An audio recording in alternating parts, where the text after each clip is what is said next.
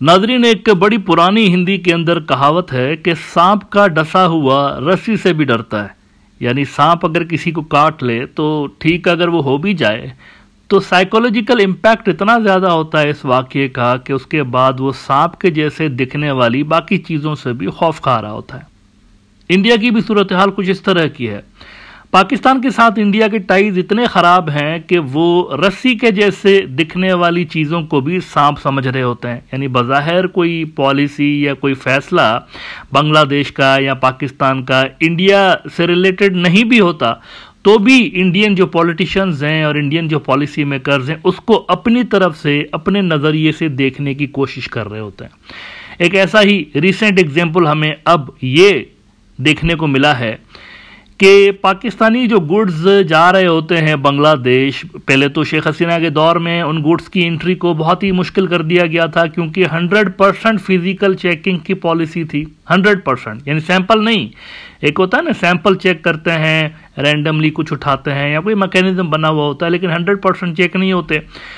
लेकिन पाकिस्तानी जो गुड्स थे, उनके लिए ये सूरत हाल थी कि अगर चावल के कोई बोरियाँ हैं तो एक एक बोरी चेक होगी कि क्या जा रहा है। कॉटन की अगर कोई बैग है तो वो पूरी की पूरी बैग्स चेक होंगे, सारा कंटेनर खोल के देखा जाता था कि इसके अंदर क्या है। ये पॉलिसी थी शेख हसीना के दौर में। इसकी असल में वजह ये थी, ये पॉलिसी बनाने की, कि तंग करना था पाकिस्तानी बिजनेसेस को और बांग्लादेशी बिजनेसमैन जो कि पाकिस्तान से तजारत करते थे, उनको तंग करना होता था। रोड़े अटकाने होते थे, मुश्किल करना होता था कॉस्ट बढ़ानी होती थी उनकी जो इम्पोर्ट और एक्सपोर्ट होती थी, उनकी कॉस्ट बढ़ानी होती थी। ये सारा कुछ किया जाता था डेलिबरेटली ताकि जो बिजनेसमैन हैं बांग्लादेश के और पाकिस्तान के वो कम तिजारत करें और ज़्यादातर तिजारत इंडिया के साथ हो सके।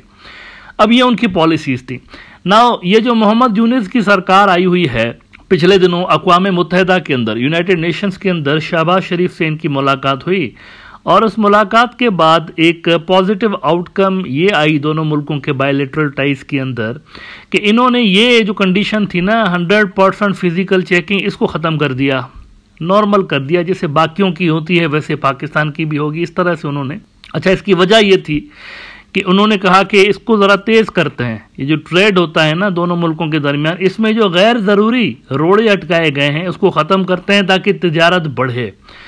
अब अपेरेंटली ये दोनों मुल्कों का बायोलेट्रल ट्रेड और कमर्शियल एक आप कह सकते हैं कि एग्रीमेंट है। लेकिन इससे भी इंडिया को खौफ आया हुआ है कि ये क्या हो गया है।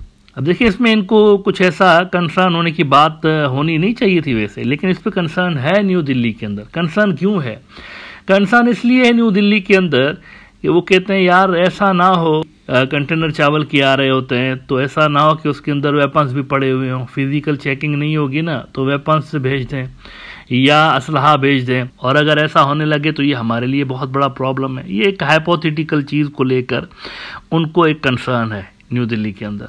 ख़ास तौर पर नॉर्थ ईस्ट के हवाले से वो समझ रहे हैं कि ऐसा होने से मुमकिन है कि ये जो हथियार हैं, ये नॉर्थ ईस्ट में पहुँच जाएँ, हमारे जो नॉर्थ ईस्ट है। क्योंकि लीगल तरीक़ों से जो बांग्लादेश ले रहा होता है, उनकी जो मिलिट्री ले रही होती है, वो तो सबको पता होता है। ऑर्डर प्लेस करते हैं तो वो सारी दुनिया के अंदर हेडलाइंस लग जाती है मीडिया में कि क्या क्या ख़रीदा जा रहा है। पिछले दिनों भी आपने देखा, बांग्लादेश ने एक बहुत बड़ा ऑर्डर पाकिस्तान को दिया था हथियारों का।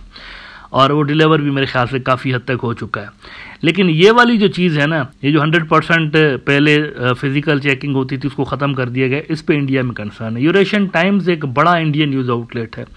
उन्होंने इसी विषय पर लिखा है कि Bangladesh is cutting its umbilical cord with India cozies up with Pakistan that raved it in 1970s अब मैं एक मरतबा फिर से इंडिया के जो एक्सपर्ट्स हैं उनको मैं एडवाइस एक मरतबा फिर से दूँगा, इससे बाहर निकलिए। For God sake nobody is buying this nineteen seventies आपको अभी भी समझ में नहीं आ रहा। भाई ग्राउंड पे कोई 1970 वाला जो किस्सा है, कोई नहीं बाय कर रहा उसको। आपकी पॉलिसीज़ इसी के इर्द गिर्द अभी तक टिकी हुई हैं। देखो 1970 निकली है बाहर इससे। उनको पता है ढाका वालों को कि अगर यही करते रहेंगे तो इंडिया अगेन सिस्टम के अंदर पेनिट्रेट कर जाएगा, घुस जाएगा।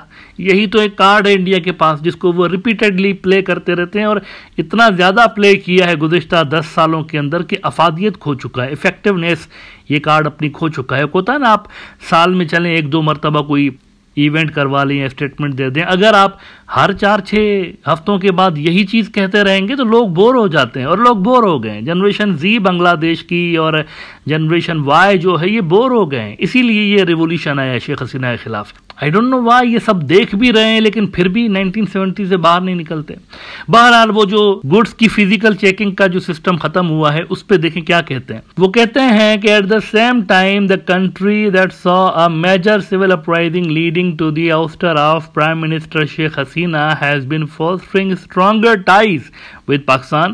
Bangladesh National Board of Revenue has eliminated the mandatory physical inspection of goods imported from Pakistan as part of ease of doing business.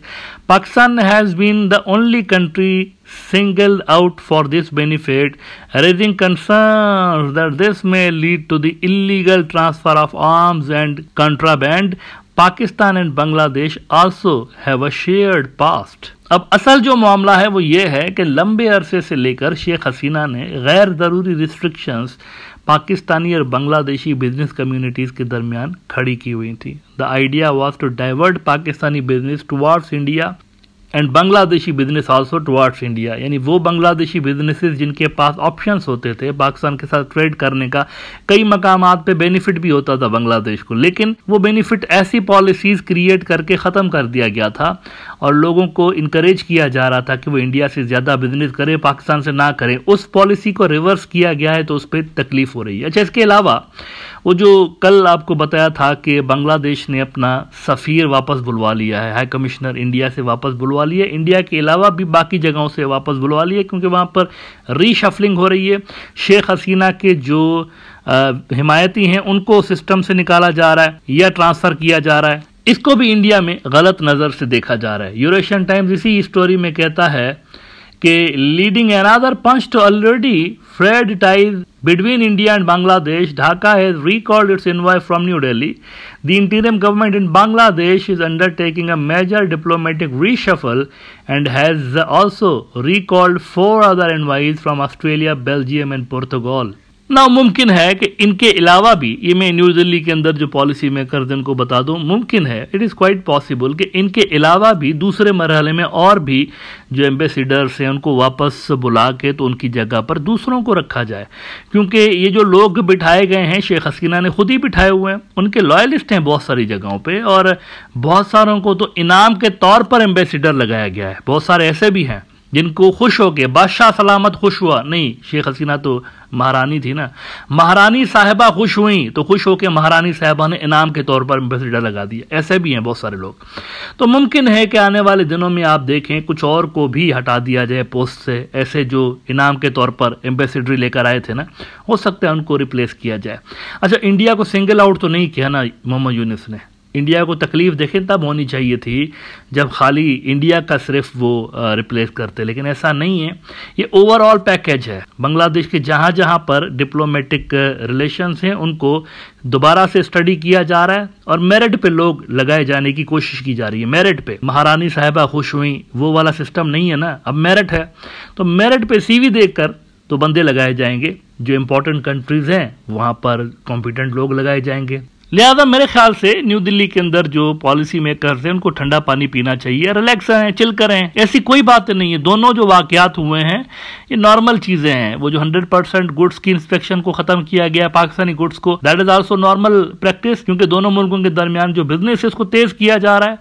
और ये जो एम्बेसिडर्स वाला वाक्य हुआ है, ये भी नॉर्मल चीज़ है। सिस्टम के अंदर जो रिफॉर्म्स लाए जा रहे हैं, ये उनका हिस्सा है।